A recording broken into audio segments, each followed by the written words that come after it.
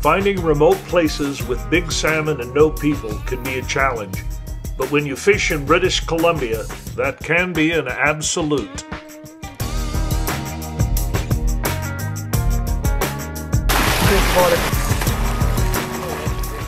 I spent a full day fishing for chum salmon on the Kitimat River near Terrace, British Columbia.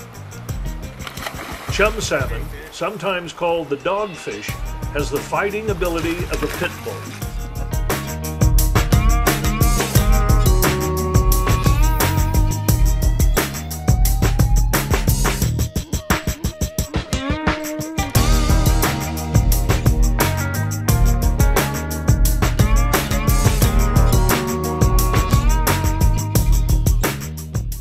Fishing with a 15 foot spey rod and mending my line hard oh. upstream permitted me to hook these rod breaking acrobatic salmon correctly. Then I would hang on and enjoy the fight.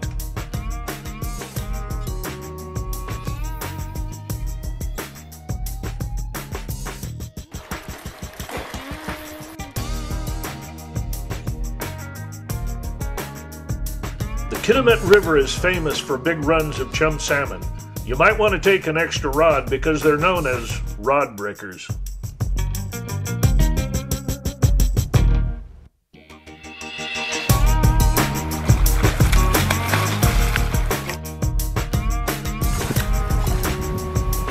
Not being known as the most palatable of the salmon species, catch and release with dignity is the order of the day.